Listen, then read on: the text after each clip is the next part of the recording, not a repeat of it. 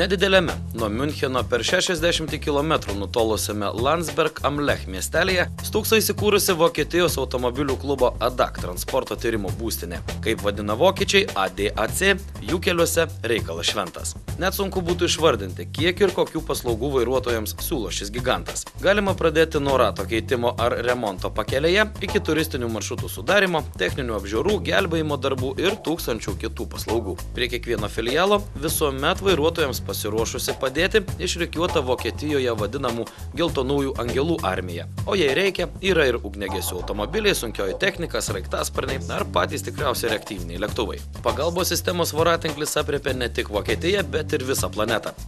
Būtent šioje Landsberg Amlech įsikūrusioje ADAC techninėje laboratorijoje atliekami pagrindiniai, vadinamieji crash automobilių daužimo testai. Pagal gautus duomenis Euro NCAP programa ir suteikia tas garsesias naujų automobilių saugumo žvaigždutes. Vos atvykus, dėl to abejonių nekilo. Aplink pilna naujitelaičių, nei 20 km nenuvažiavusių į visus šonus sutalžytų automobilių. European New Car Assessment Europos naujų automobilių vertinimo programoje dalyvauja 12 panašių įstaigų. Tačiau atsivertus oficialų NCAP puslapį internete, pirmoje vietoje įsitaisiusi jos didenybė ADAC - visuotinis Vokietijos automobilių klubas. Jis vienyje daugiau nei 17 milijonų narių ir yra didžiausias Europos automobilininkų klubas. Tiesa, čia atliekami ne tik daužimo bandymai. Mokslininkai testuoja ir analizuoja padangas, įvairius aksesuarus, tyrinėja konkrečių vaistų poveikį vairuotojų dėmesingumui, eismo reguliavimo programas, atskirų automobilių detalių patikimumą ir taip toliau ir taip toliau. Tačiau mūsų vizito tikslas visai kitas. Atvykome kartu su FIA nariais, Lietuvos automobilininkų sąjunga ir akcija Apsaugok vaiką nuo pavojų kelyje. Mums buvo suteikta unikali proga visą dieną pavadovauti pagrindiniai bandymų laboratorijai ir tądien joje vykusiuose vaikiškų automobilių kėdučių naudojimo bandymuose. Tačiau apie tai kiek vėliau. Dabar kviečiame Jūs į ekskursiją po ADAC laboratorijos patalpas, kuriuose mus pasitikęs automobilių saugumo inžinierius Andrėjas Racekas papasakojo visas smulkmenas - nuo automobilio parengimo crash testui iki galutinio rezultato - duomenų perduodamų Europos naujų automobilių vertinimo programos žmonėms. Įžengus į pastatą, visose dirbtuvėse buvo bandomi to paties naujo japoniško automobilio parametrai ir po filmavimo paaiškėjo, jog jo rodyti negalėsime, mat testų rezultatai bus paviešinti tik šių metų pabaigoje. Taigi teks tenkintis tik lakoniškais kadrais ir anksčiau filmuotais šeštos kartos Volkswagen Golf bandymų vaizdais, kuriuos jau galima demonstruoti. Tai susidūrimo su pešiuoju imitacijos patalpa. Gigantiškas oro pistoletas iššauna dirbtinę žmogaus kūno dalis į tam tikras, daugiausiai žalos peščiajam darančias automobilio vietas. Variklio dangtis ir stiklas suskirstyti į atskiras sekcijas. Padarytas trimatis priekinės dalies atvaizdas. Po bandymo analizuojame filmuotą medžiagą. Kompiuteris sukuria deformacijos modelį. Žiūrime, kaip problematiškiausios automobilio kėbulo dalių vietos sugeria smūgio jėgą. Jei bandymo rezultatai tenkina, iškart aišku, jog automobilio gamintojas neužmiršo šio laikinių standartų ir viską padarė kaip reikiant. Vėliau nuardome ir priekinę dalį. Tikriname tikimybę, ar susidūrimo metu lengvasis automobilis gali įtraukti po savimi žmogaus koją, pasakoja mūsų ADA gidas Andrėjas.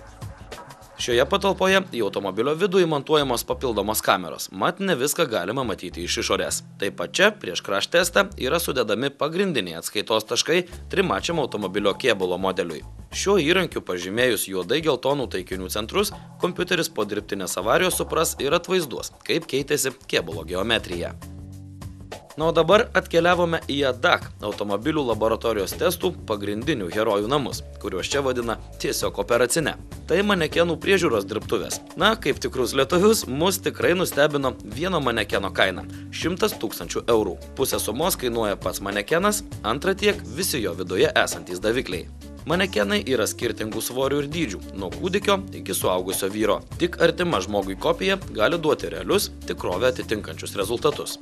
Ne vieną avariją regėjusių manekenų paviršinis sluoksnis labai artimas žmogaus odos ir raumenų struktūrai. Viduje paslėpti, dažniausiai avarijų metu lūštantis, dirbtiniai, tokie pat trapumo kaip ir žmogaus kaulai ir slanksteliai. Tai sudėtingas žaislas. Štai pavyzdžiui, vien galvos judesius fiksuoja trys skirtingų parametrų davikliai. Jei kuris manekenas ir palūšta, nieko tokio. Atsarginių dalių šiems draugams mes čia turime, juokėsi mūsų gidas. Praktiškai po kiekvieno rimtesnio bandymo manekenai reanimuojami ir vėl paruošiami darbui.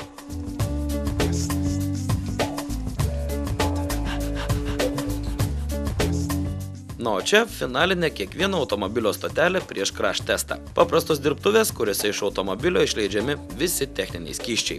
Iš kondicionierių sistemos ištraukiamas freonas, išpilama variklio alyva, aušinimo stabdžių, vairo stiprintuvo, langų apiplovimo skyščiai ir žinoma degalai.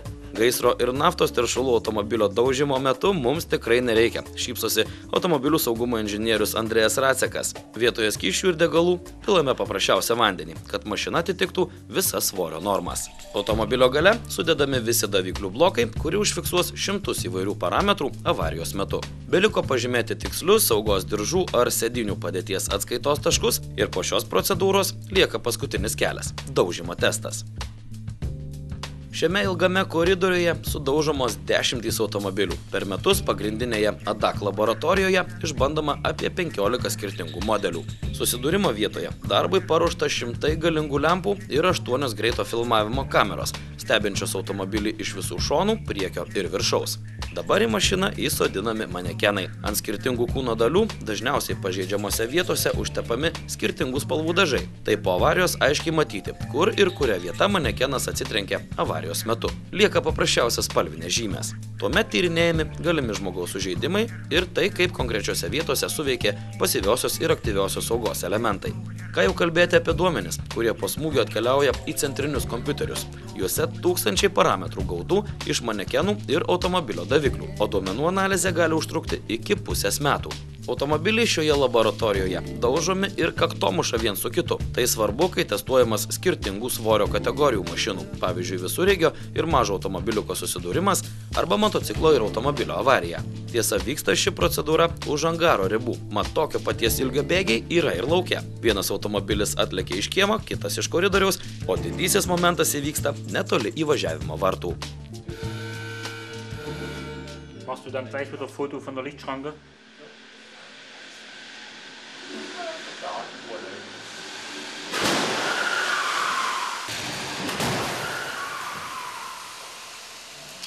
Taip, automobiliai čia daužomi į visus šonus. Reikia atkurti įvairias, dažniausiai avarijos metu kylančias situacijas. Demonstruodamas laukia išrikiuotą laužyną, pasakoja ADAK inžinierius Andrėjas. Po kiekvieno tokio bandymo transporto gamintojai gauna dar daugiau patirties ir žinių, kurios vėliau virsta darbais, kuriant naujus modelius. O mes važinėjame saugesniais ir patikimesniais automobiliais.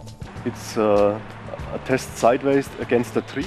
Štai matote automobilį po šoninio medžio testo. Turime plėninį 30 cm skersmens balkį. Automobilis bandymo metu rėžėsi į įsivaizduojamą medį šonu maždaug 30 km per valandą greičiu.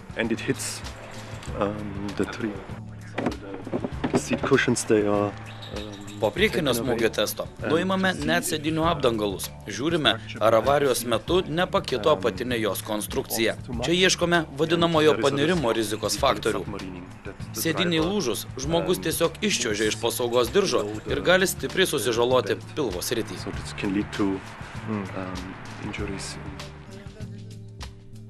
Per savaitę ADAK laboratorijoje sudaužomi bent penki to paties modelio automobiliai. Medžio testas, priekinis, šoninis, kampinis smūgiai - reikia patikrinti viską. Po šių procedūrų diagnozuoti avarijos padarinius automobilyje imasi du Europos naujų automobilių vertinimo programos specialistai, kurie privalo įvertinti per 60 įvairių parametrų. Štai pavyzdžiui matosi, jog pirštinių skydelis paženklintas visomis spalvomis. Tai reiškia, jog manekeno kojos į šią vietą rėžiasi stiprokai. Išardžius skyrelį specialistas duoda gerus vertinimus. Jis ne vientisas, o išlietas su besideformuojančiais tripeliais. Jie avarijos metu sulinko ir sugėrė dalį smūgio. Eidamas aplink automobilį, specialistas tikrina labiausiai pažeidžiamas automobilio vietas - sėdynės, grindis, duris, žodžiu viską, kas gali sužaloti žmogų avarijos metu.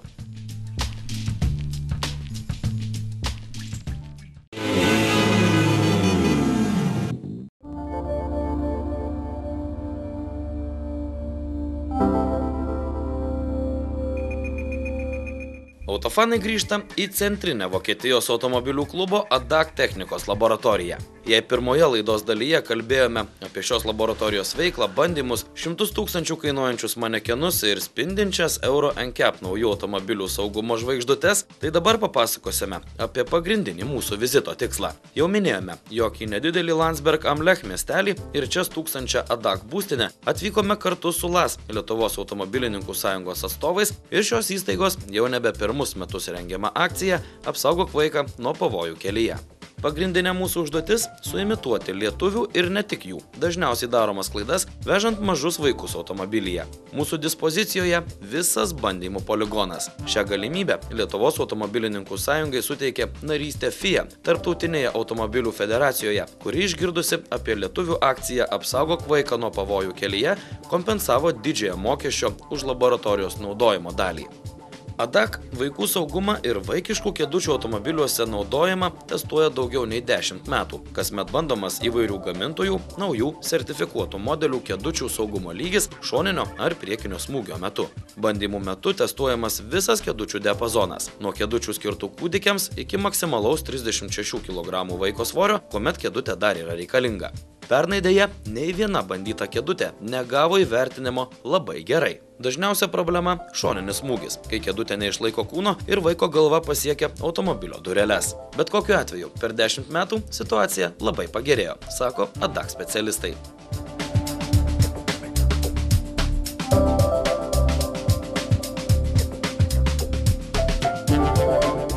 Na, o mes ruošiamės saviems, lietuviškiams eksperimentams. Priminsiu, jog mes nebandysime kėdučių patikimumo, o jums norime parodyti aplaidaus jų naudojimo pasiekmes. Inžinieriai jau reguliuoja 8 greito filmavimo kameras, kurios sekundės dalies įvykį pavers beveik 40 sekundžių filmu. Apžiūrime ir specialų sutvirtintą daugkartinio naudojimo kėbulą. Nėra durelių, išpjautas stogas, išimti stiklai. Visas šias ertmes stebi kameros. Imituojamos avarijos metu kėbulas ilgu metaliniu liežuviu bus sustabdytas specialiame įrenginyje. Kurį laiką atsitrenkęs į kliūtį, jis dar šiek tiek judės pirmin, lyg būtų gniuždomas pats ir automobilis, į kurį jis atsitrenkė. Tiesa, kaip ir realybėje, to pastebėti plika akimi neįmanoma. Bum ir viskas.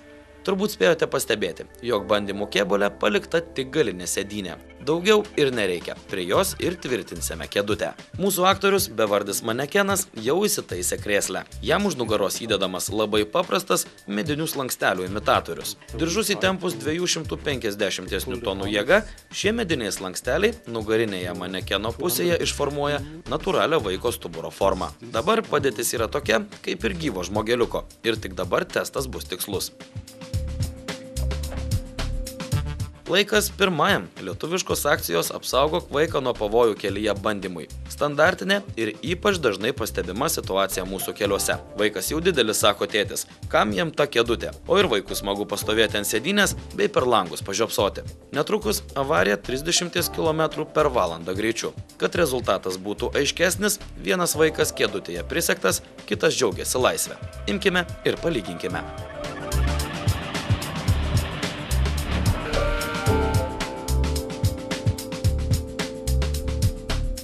Priminsiu, tai labai dažnai mūsųse sutinkama situacija, o greitis te buvo vos 30 km per valandą.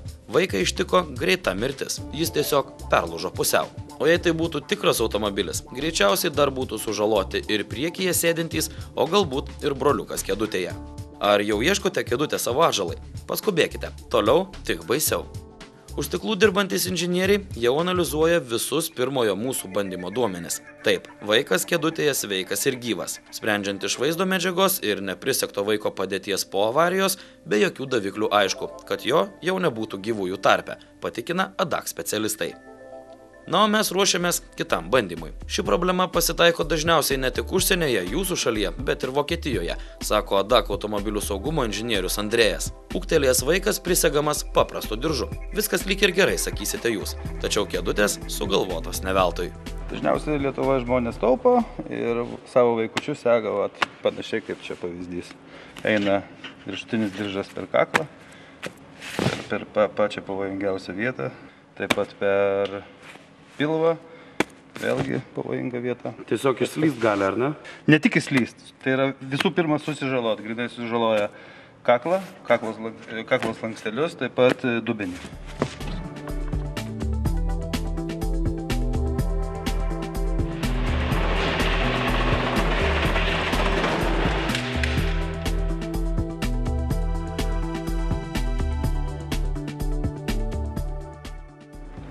Kaklas deformavosi ir imituojantis lanksteliai yra sulūžę.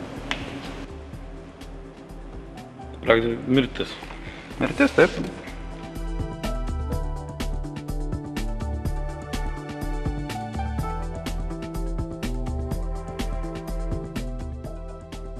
Trečiasis bandymas. Adak Vokietijos automobilių klubo technikos inžinieriai mūsų noro nelabai suprato ir iš pradžių net atsisakė jį atlikti. Tai eksperimentas, kurio metu vaikas kėdutėje prisektas, tačiau pati kėdutė nepritvirtinta prie sėdynės.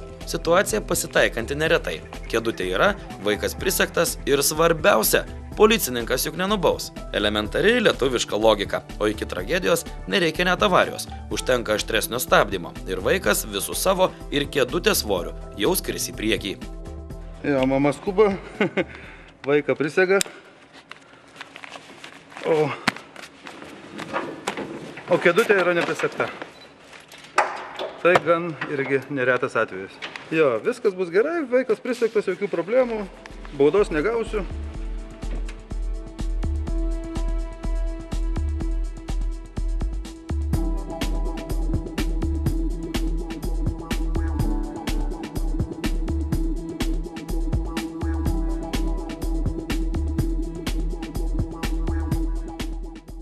Andrėjas Racek, ADAC automobilių technikos skyriaus saugumo inžinierius, sako, jog mūsų lietuviškos problemos jam yra pažįstamos. Pasak jo, Vokietijoje jos jau išnykę, nors problemų vis dar yra. So, uh, really. Jūsų problemos tikrai nenustebino. Žinome daug kitų valstybių, kuriuose vaikų saugumas nėra toks, koks turėtų būti. Ir manome, jog padaryti dar galima labai daug. Didžiausia problema Vokietijoje - tinkamas vyresnių vaikų saugumas. Tai reiškia, jog vyresni nei 6-8 metų vaikai neapsaugomi tinkamu būdu. Jei pažvelgtume į mažesnius vaikus, situacija kur kas geresnė. Daugiau nei 80-90 procentų mažylių automobiliuose apsaugoti pilnai. Lietuvos automobilininkų sąjungos ir akcijos apsaugok vaiką nuo pavojų kelyje viešnagė šioje automobilių saugumo laboratorijoje Vokietijoje suteikė išties neįkainojamos informacijos. Turbūt esame pirmieji iš Lietuvos, kam teko iš arti stebėti bandymus ir išvysti tai, apie ką kasdien kalbame ir mėginame įkalti į galvas Lietuvos vairuotojams. Nors padėtis mūsų šalyje kasmet vis gerėja, tačiau tikimės, jog šie į namus parvežti rezultatai daugeliui bus pamokantis ir padės užkirsti kelią skaudžioms nelaimėms ateityje, sakė Lietuvos automobilininkų sąjungos direktorius akcijos apsaugok vaiką nuo pavojų kelyje iniciatorius Kestutis Kestenis.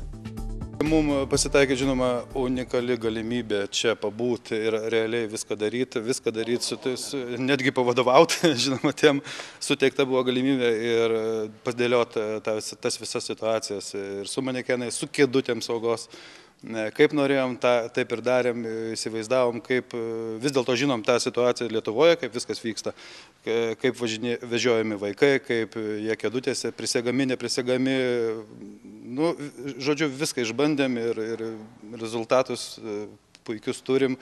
Ne, Kadangi mūsų Lietuvos automobilininkų sąjunga yra Tartutinės automobilių federacijos narė, e, užtat galbūt ir gavom tokią galimybę, galima sakyti, netgi pažaisti, jo, būtent taip, nes kitos galimybės aš neįsivaizduoju, kaip galima sumokėti už vieną dieną, sakykime, kokius 30 tūkstančių eurų, sakykime, taip vidutiniškai 25-30 tūkstančių eurų, mums sakė, taip, tas vis, va, visas tas kainuoja. Tokios galimybės mes tikrai neturėtume. Realybėje viskas atrodo visiškai kitaip vis dėlto. Ką mes matom e, atsiustus e, krešų, to vadinamus rezultatus ar, ar video, o čia būnant e, vis dėlto pamatom, kaip viskas vyksta realybėje. Kaip mes ir matėm, yra važiuojanti mašina 30 km per valandą, atrodo, kad ir lik ir pamažu važiuoja, bet vis dėlto yra tam tikrais atvejais mirtina, mirtinas smūgis gali būti žmogui. Kągi, tokia štai buvo mūsų viešnagė didžiausio Europos automobilių klubo ADAC centrinėje technikos bandymų laboratorijoje. Sužinojome iš ties daug įdomių dalykų. Graudžių lietuviško varguolio žvilgsnių palydėjome ką tik sudaužytus naujitelaičius automobilius. Na, o jei rimtai, džiaugiamės galėję prisidėti prie tikrai kilnios vaikų apsaugojimo keliuose misijos. Mėly tėveliai, dar kartą prisiminkite tai, ką matėte šiandienos autofanų laidoje. Lai šį bjaurų darbą dirba manekenai, o ne jūsų vaikai.